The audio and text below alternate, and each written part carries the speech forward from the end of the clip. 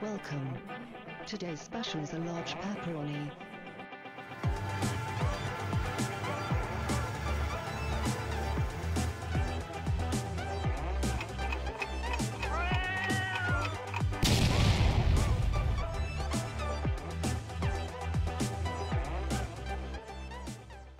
Hi everyone, welcome to another exciting episode of Game Night in the North, the TV show that's all about board games, but definitely not a game show.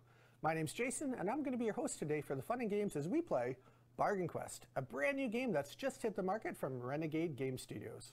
When the game begins, both myself and all of my panelists that'll be joining me will be playing as shopkeepers. We're going to each have a store where we're going to be selling weapons and armor and helpful items to the local heroes who are going to go out and do battle to save the town.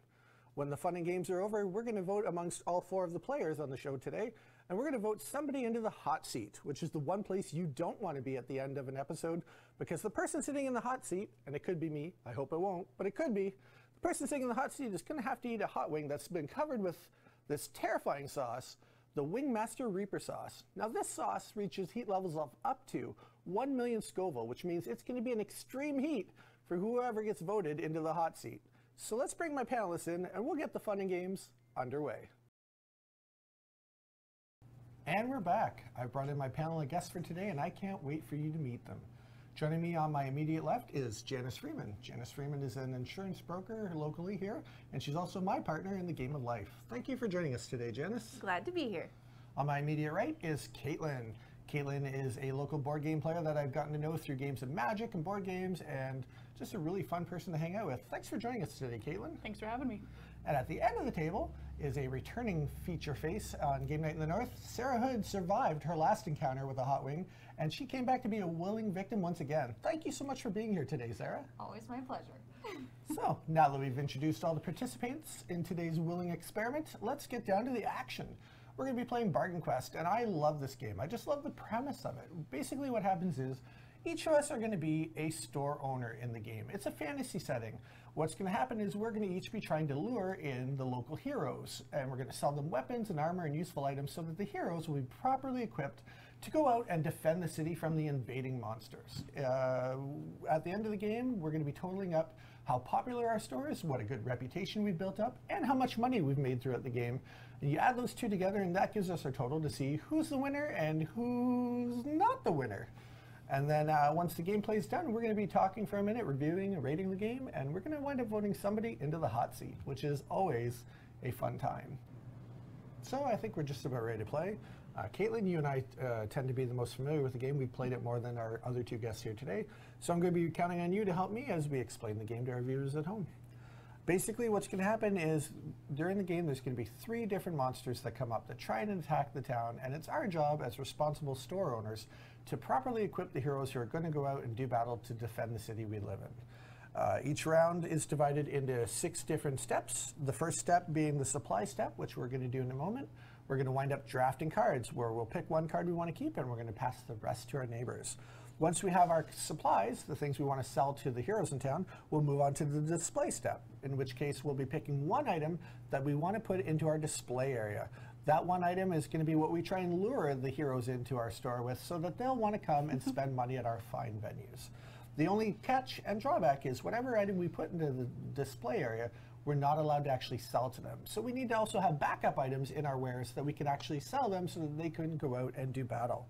That's all happens during the shopping stage. That's basically it for shopping. They come in, they spend their money, we get happy, they go out into the adventuring stage, which is where the heroes are going to go out and do battle with the enemies. In the first round of today's event, we're going to be playing against the Goblin Chief. The Goblin Chief has a power of 4 and a toughness of 3. I'll explain a little later on what those numbers mean. Once the adventure's done, all the surviving heroes are going to come back to town. They're going to hang on a minute while we upgrade the store to make it bigger and better for the next round. And then finally, we're going to take some of our leftover items that we didn't sell and we're going to put them into storage so that we can keep them for safekeeping and use again in the next round. So if everyone's ready, I think we should jump right into the fun by starting off the first supply step of the game. But before we can do that, we have to determine one thing. There's a tiebreaker that gets used in the very first round of a game of Bargain Quest. And the tiebreaker, if it becomes relevant, is we need to know who was the last person to buy something in the real world and pay for it using cash. So Sarah, when was the last time you bought something and paid for it using cash? At least a week. At least a week ago. At least a week. Caitlin, when was the last time that you bought something and paid for it with cash? Oh, I bought something yesterday afternoon for uh, pizza for five dollars Oh, with cash? with cash. Excellent. Yeah. For me, it was a couple days ago. I wound up buying a carton of milk. So, so far, you're the leader. You bought something the most recent. Janice, when was the last time you bought something and paid for it with cash? Well, I bought my morning's coffee and scone from Grounded this morning uh, with cash. With cash. Okay, so you'd be the most recent. So you're going to get the tiebreaker uh, token, which is called the quest token. So if it becomes relevant as we play for the first round, you'll get a little bit of an advantage because you have the quest token. Now that that's settled and we know who's going to have tiebreaker advantage, we can go ahead and deal out four cards to each player. So I'm just going to quickly deal four cards to each one of us. And then once everybody has the cards, we're going to be taking a look at the items. These four are for Sarah. Mm-hmm. We're going to take a look at these items and we're going to pick the one weapon or piece of armor or magical item that we like the most, and we're going to choose to keep it by putting it face down in front of us so that nobody else can see it. So, unfortunately for me, I don't have very exciting items, so it was a pretty easy choice for my first card. Everybody else good so far? Now we pass to the left, and in Janice's case, she'll pass all the way down to Sarah. Now we take a look at the next three and do the same process. And we're going to keep doing this until we've drafted all of the cards in the game. That's my second choice. Excellent. And we, you're ready to pass down, sir? Excellent. And our third choice. Ooh, that's a good one. Can't believe you passed that to me. You fool! Uh, that's my last one. Excellent. All right, so now we've each resupplied our store. We have items that we're going to be able to sell to the heroes a little later on. So we're each going to review the items that we have in our hands and choose one item each that we're going to be putting into our display area. We're going to keep it secret for a moment, put them face down in front of us. We're each allowed to only put down one item in the display area when the game begins, but we'll be able to buy cool upgrades later on to let us put out more wares in the window. So one factor everyone has to consider is whatever item they put into the display window is the only style of weapon that they're allowed to lure the heroes in. So if I put a magical wand in my window to try and lure in people, the only heroes I'd be able to lure in are the Demon Slayer and the Young Hero because they each have the red symbol on their cards, which means they like to use magic. You can't really sell a wizard's wand to a soldier who just likes swords. It just doesn't work that way. So, has everybody chosen their display items? Excellent. So we're all going to just reveal our display items and see who's chosen what. So Janice has chosen a Mighty Elixir, and it has one heart on the card, which means it's slightly interesting to the heroes walking around town. I've chosen a set of Wizard's robes. They have two hearts on them, which means they're slightly more interesting. Caitlin here has chosen a Blasting Rod, which is a powerful weapon that appeals to magic users, and it has three hearts on it. And Sarah, at the end, I can't quite read it. What's the item you chose? Cursed elixir. It only has one heart, but I attract every type of character. Excellent. So it seems like we all wanted at least a little bit of red in our life. Uh, Caitlin, with your blasting rod having three hearts, you're going to get first choice of which hero you'd like to have shop in your store this round. Who would you like to lure into your store? I would like the young hero. An excellent choice, always. For me, oh my goodness, I have only one choice. Because my wizard robes only have red in it, I can only take a character that has red, which means I'll be choosing the Demon Slayer by default. Uh, next up, it'd be a tie because Sarah and Janice both have one heart on their items. And what was the, the sale price for them? Five. Five gold for Sarah's item, Ten but for ten me. for Janice's. So because Janice's item costs more money, the people walking around town tend to think it's probably a better quality item, which means Janice will get to choose third. Now, Janice, your elixir has all four character types on it, which means you could have your choice of either the fighter or the cleric. Who would you prefer to have? The fighter, please. The fighter goes to Janice, which means by default, the cleric is going to slide down the table to Sarah. Yes, the cleric wishes to look at the cursed elixir. Excellent. this is fun. I like this already. So now that we've we've done the supply step and we've done the display step and we've lured people into our stores, now we move on to the shopping step where we can all take our time for a moment and sell weapons and items to the heroes in our store. But again, they're only going to want to buy items that share a character type with them. So for my case, I have two items I can sell in total. A battle axe that uses the blue character type and a nice scroll that uses the red character type because I was lucky and my Demon Slayer has two character types on it. So each of those items cost five gold each, which means I'm going to be getting a grand total of 10 gold from the Demon Slayer. Yay! Uh, Janice, how about you? What, what can you sell to your character? I'm going to sell a battle axe and a wineskin. So I will take the 20 and give him f- or her $5 Five and change. Nice. Uh, Sarah, let's go to you at the end. What can you sell to your lucky customer today? Hmm, well, yes, the, the cleric unfortunately doesn't have as much money as I would like, so he's only going to get a healing potion. I think if you look closely, you'll notice the cleric actually has a really cool ability Oh. called charity, which says that the cleric's willing to accept items based on charity, and you can lower the price of a more powerful item by, what is it, up to 10 gold, I Up to believe? 10 gold. So, So- if you'd like, if there's an item that costs up to 25, you could sell that one item for only 15 gold. Hmm, well, my heavy mace is only 10 gold, so he can get that for free. Uh, yes. Yeah. Hmm, But really, you'd want to sell it for five so that you could get all 15 gold from the cleric. true, good point. Yeah, so you can take all 15 gold and put it over with the other gold in your store. And then, Caitlin, we've saved possibly the best for last. Show us what you're going to be selling today. Um, so first of all, I have this uh, fantastic short bow. I say first of all, but that's pretty much all I'm going to Okay. um, sell because it was 15. So I take Nice. all the money, all the monies. Excellent. So all of our heroes have spent whatever they can afford to spend in the stores. That brings the shopping stage to a conclusion, which means now we're going to move on to the adventure part, which is exciting because that's when the heroes go out and do battle against the attacking monsters, and they're going to keep us safe, safe, hopefully. You know, if we sold them good quality items. So let's find out what happens. Now, Janice, you have the quest token, which gives you a little bit of advantage for the whole rest of the turn. You get to go first on everything, which means uh, once we find out what mood everybody's heroes are in, we're going to be starting with you. So I'm going to deal you one of these adventure cards, which I like to call mood cards because they describe how our heroes are feeling as they head out into battle. So Janice, for you, your hero's feeling pretty reliable. So it didn't give you any boost, but it also didn't weaken your hero at all. Great. My hero is feeling clever. Ooh, he's a clever hero. And my hero's going to get a plus one boost to their defense. Uh, Caitlin, your hero is feeling intrepid. No power boost or defense boost, but your hero does gain 10 gold right away. So if your hero survives, there'll be a little extra money to spend next round. And Sarah, your hero is feeling, oh no, your hero is feeling forgetful. They've forgotten to bring one of the items you sold them, so you're going to have to unequip one of those items. Hmm. How forgetful. I always have bad luck. So then, again, because Janice, you have the quest token, that means we can go ahead and start with your character doing their attack. So tell us, how much power does your hero have now? He, uh, she hits for five. Well, that's exciting because the Goblin Chief only has three toughness, which means five damage is more than enough to wound the Goblin Chief. And we are one quarter of the way to knocking the Goblin Chief out of the game. Also, because your hero was strong enough and had good enough equipment, thanks to you, to hurt the Goblin Chief, your star has gained one fame. You're getting a good reputation already. Wonderful. The only problem is my fighter has a, only a two toughness, so sh- she is going to die. Well, she fought the good fight, but that's just not enough sometimes. Nope. So, unfortunately, your hero's going to go to the discard pile for heroes. And the items are going to go right here into the discard pile for items. And then moving clockwise, that would bring us to Sarah next. Sarah, tell us about your heroes.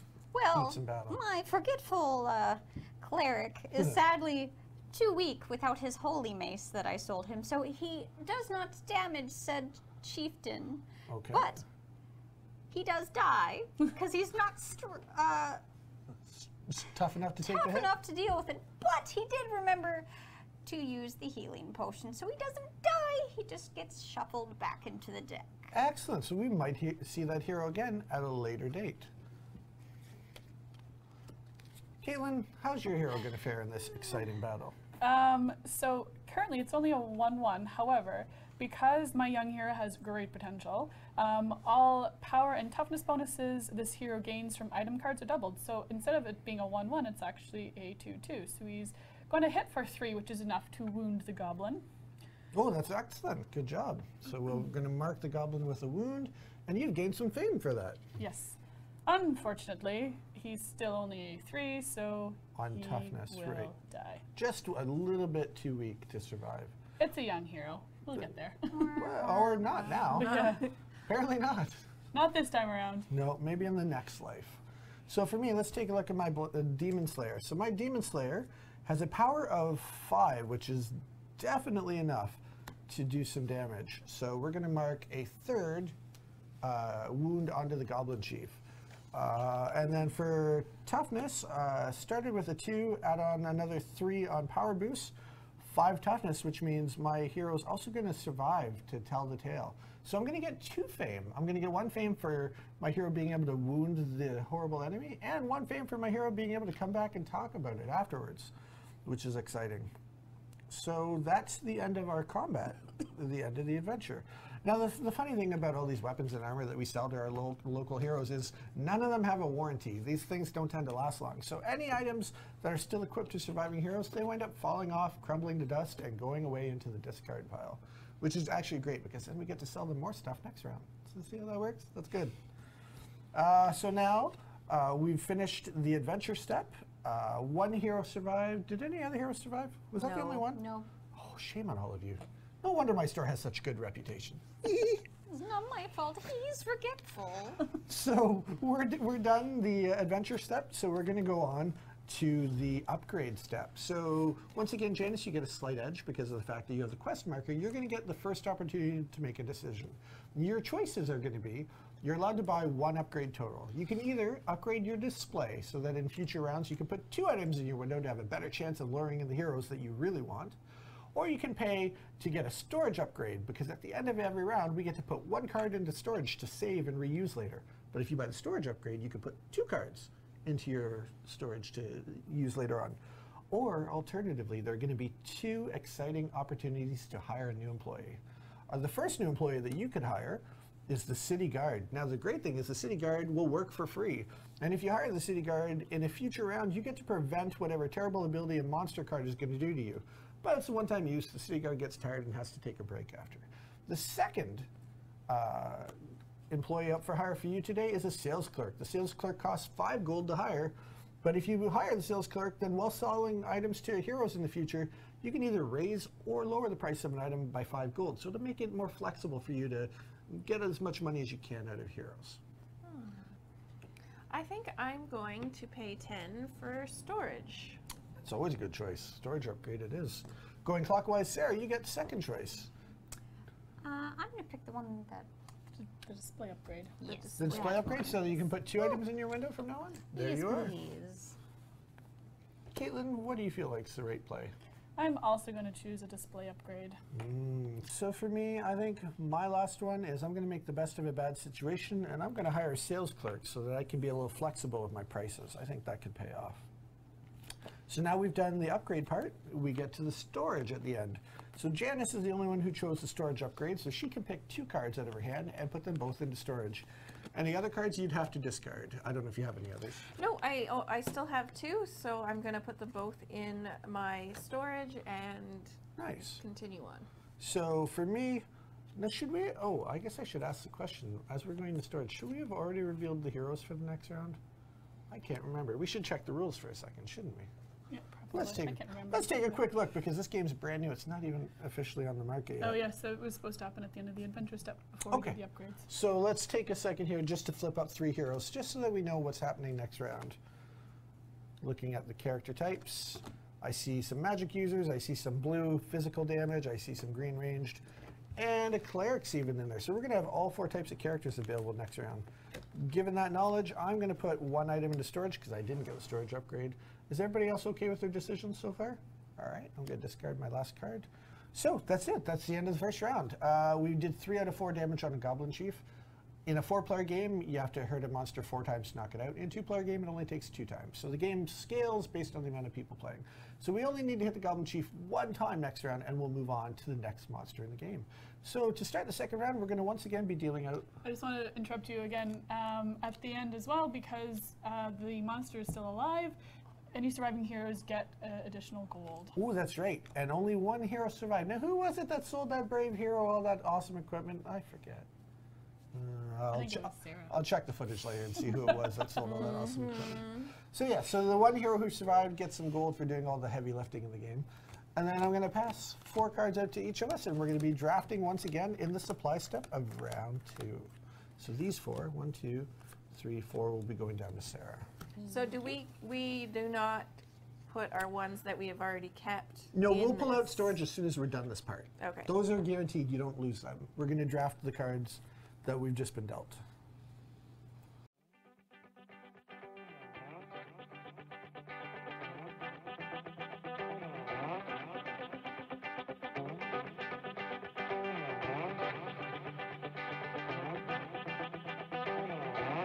And we're back. I got last choice of heroes. Boo, Aaron's. I'm awesome. Yes. I know. I I, am respect so kind. Indeed. Well, not you, your hero, though. So she's gonna hit for three, which will do damage to our goblin chief and kill him.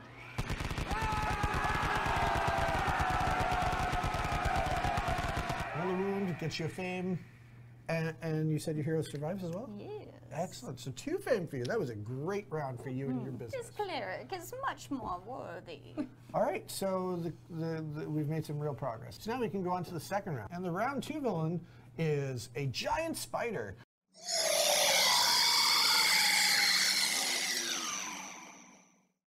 So this round's going to basically play out the way the first round did, just different monster to kill. Moving cl- clockwise, it'll be Sarah.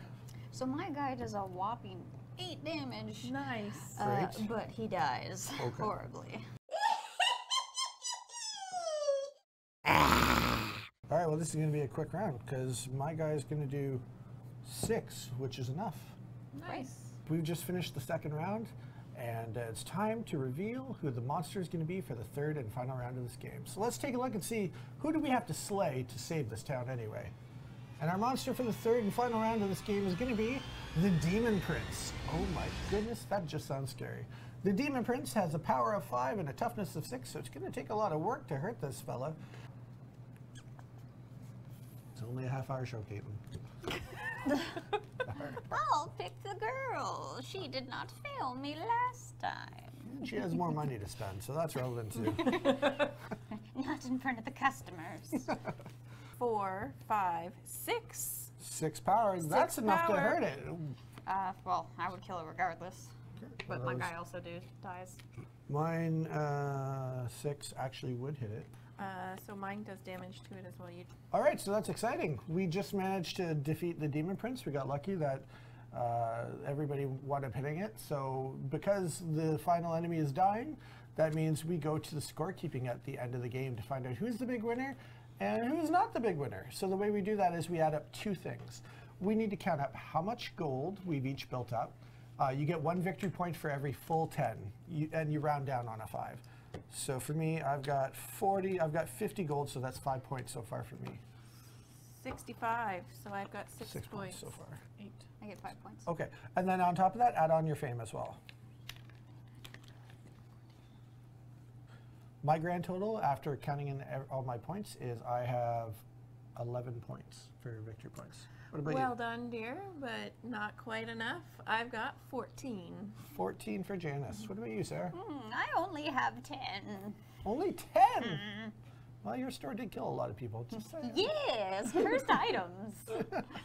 You all did very well, but uh, I do have 16, so that I believe. 16. Caitlin is the winner of Bargain Quest. So we're going to take a minute, clean up the pieces. We're going to review the game and get ready. And we'll be right back to tell you our thoughts on Bargain Quest. Stay tuned. We'll be right back. And we're back. We've all taken a couple minutes to collect our thoughts, rate and review the game, and we're ready to share our impressions with you, the viewer. So I'm going to start us off today. For first impressions, I rate this game as a 7 out of 10. Uh, I was optimistic when I first saw it. The box looks pretty, the, the game pieces seem good, and I was optimistic it was going to be fun. Ease to learn is probably the category I'm the harshest on with this game, just because there's a lot going on and there's a lot of text to read, and it's easy to miss a little details sometimes. So I gave it a 6 out of 10 for ease to learn. But quality of the game, I definitely give it a 9 out of 10. The artwork is really gorgeous and the pieces are well made. I really feel like there's good value for the game. Overall fun to play is an 8 out of 10, which is an A in my books. I, I love it. I've played it a lot and I enjoy it every time I play it. And then likely to recommend, again for me, is an 8 out of 10. Uh, I love the game and I, there's a lot of people I'd recommend it to. I probably would avoid really younger kids because again, there's a lot to absorb the first few times you play it. So for me, that's 38 out of 50 overall. So that concludes the review portion of the episode. So now we get to talk about one of my favorite parts of every episode. Who do we think should be sitting in the hot seat at the end? Janice, in a, just a few words, tell us who you're voting for and a quick uh, reason why. So I'm voting for Caitlin because even though she won, she could have won by a much bigger margin. So Okay. that fumble kind of puts me in her, it, her on the uh, the chair. I see. All right. Uh, Caitlin, who would you like to vote for? Well, I was originally going to vote for you. Okay. Uh, you still can if you like, whatever you feel like. You I think? actually think that I'm going to vote for Miss Sarah because she killed off a lot of heroes. Oh, that's a valid point. A lot of people died. I, my cursed item. Your cursed items. Sarah, who would you like to vote for today? Uh, hmm. Jason, I'm picking you because you were the harshest for the reviews, I think, weren't you? Mm, I Yes. was. I did give it the lowest score overall, despite the fact that I love the game. That's totally fair. So to summarize, so far we have a vote for Caitlin, a vote for Sarah, a vote for me. Oh, that's interesting. There's a lot of power in this final vote because if it's a tie, we all have to eat. Or I could vote for just one person. But you know what? Gosh darn it! It was such a fun game. Who did I have to vote for to make it a tie? You, right? Oh, I'm gonna pay for that later. But yeah, let's let's just say, just to make it a team sport today, I'm going to vote for Janice because another reason than, gosh darn it, you just look the best today. So I'm going to vote for you. So we'll be back in a minute while we all suffer eating some delicious hot wings covered in a terrifying sauce. So don't go away. We'll be right back. And we're back. I'm super excited to once again be eating a wing covered with the Wingmaster Reaper sauce. Sarah and I have both experienced this before, but for Janice and Caitlin, this is the first time ever exploring heat of this nature. So uh, I'm excited. Uh, I know I'm going to enjoy it, but let's see how everybody else does. Any last words? I love you, mom. Well, anyways, let's dive into it and we'll see how we fare. Good luck, everyone.